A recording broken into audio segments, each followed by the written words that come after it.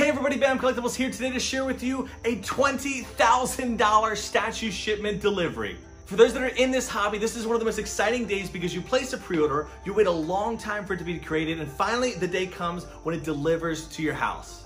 Now for today's shipment, about 60% of it is mine, 40% is gonna be other people's, so a lot of amazing things to see. If you're not aware, I ship my stuff something called a bulk method. So it delivers on a pallet with statues all saran wrapped together. It's a lot safer that way because it moves all as one unit rather than moving each box one by one. So with everything today, I hope you enjoy more of a behind the scenes look, pull on the curtain back, seeing what happens when I get these shipments in, how I do process them, and honestly, we'll probably maybe crack open a box or two and take a look and see what's inside. So with that being said, I'm gonna wait a few more hours for the truck to arrive while you have to wait just a moment.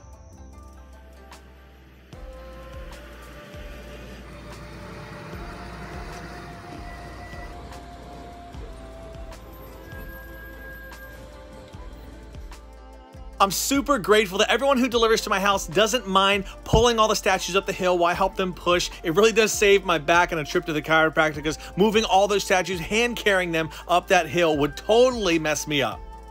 I always love the fact that everything is shrink wrapped. It does help to keep everything together on the load so it moves as one unit, but I do rip that off pretty quickly and throw it in the trash can like I'm doing now. All right, so we got one pallet in so far. It was a little bit too tall, could barely fit above the top rank garage, so we had to rip the box off. Uh, but successfully have one box in here. We have three more to go, I believe. I'm very thankful for the gentleman that did deliver. He had such a great spirit about him, just helping me out, asking about the channel. I even asked him if he wanted to be in the video as well, and of course he did say yes. Hey everybody, BAM Collectibles. Thank you. Hope you enjoy the shipment. See you next time.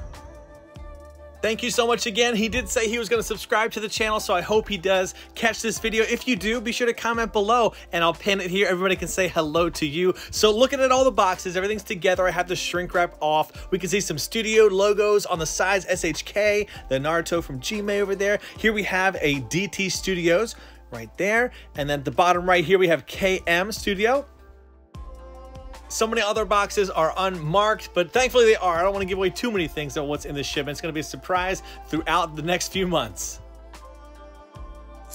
All right, everybody, so everything is in the garage, and my next step is gonna be to weigh and measure. I have my scale down here, and I'll get a measuring tape to get all the measurements. The reason I do that is because when it comes time to sell or, you know, part with the statue, I already have that data at my fingertips. It helps that whole process out greatly. Pretty boring to watch, so we're gonna skip through most of it, but I need to take care of that now.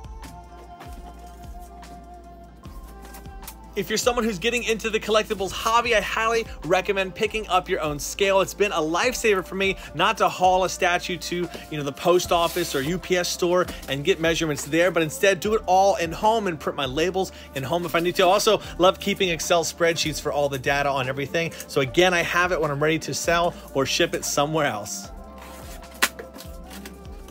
For this one, I wasn't sure what was in the box, so I did have to open up. We can see Surge Studio, so I know this is gonna be my Kakuzu that I've been waiting for. Finally get to add him to my collection, and I can't wait to showcase him probably maybe around the Halloween timeframe or something with everything pretty much sorted between what's mine and what's some of my friends, here is this pile. I do have a few more sitting in the garage, like five or six bigger boxes, but I'm gonna go ahead and head downstairs. I gotta move these pretty quickly. My wife does not like big boxes upstairs.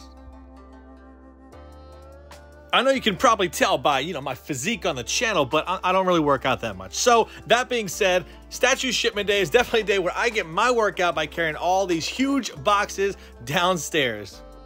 For larger boxes like this one, I do slide them downstairs safely. It looks aggressive because I sped it up, but it's really safe how we did it. But all downstairs, it looks like boxes just threw up all over the room, everywhere, bleeding into my other main showcase room as well. This is pretty much how it is the first few days until I sort things out and get everything into my main storage area.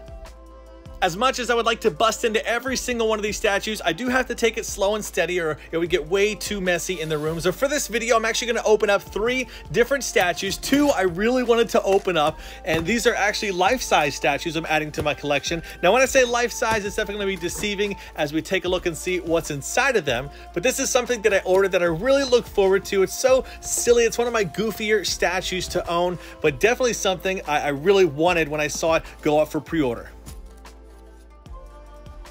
if you can't tell, this is Naruto's full frog wallet. I thought this was incredible to see. So on the bottom, we'll see there's a plug, so you can actually use this as a piggy bank or a coin bank if you want to keep stuff in there. You can see all the back, there's the ripples that make it look like it's full of actual money inside. So this was super cool to see. Definitely an iconic thing in the show. We'll set them aside. And there's a part two to this life-size opening that we will crack into here as well.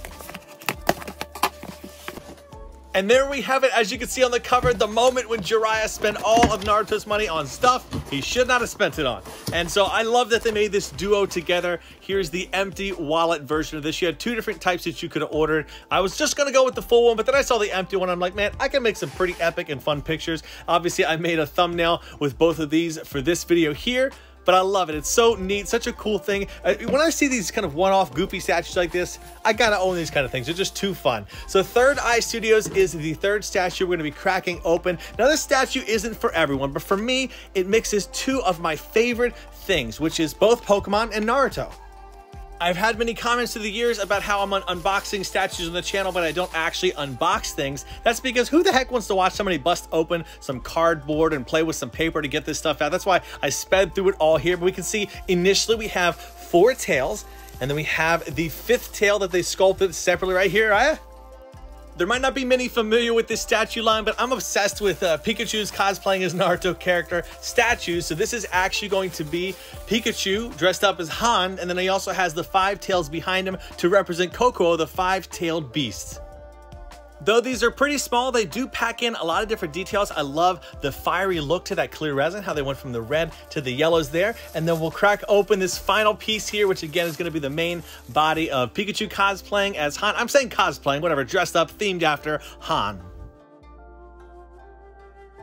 Low key, Third Eye Studio is one of my favorites. They do this Pikachu line. They do a line of characters in more casual outfits, and they also did a Kirin Sasuke, which we should see here on the channel sometime in the near future. So that's everything today. I hope you enjoyed a behind the scenes look at a delivery day here, and I'll see you in the next unboxing video. Everybody, do what you love and love what you do. Bam out.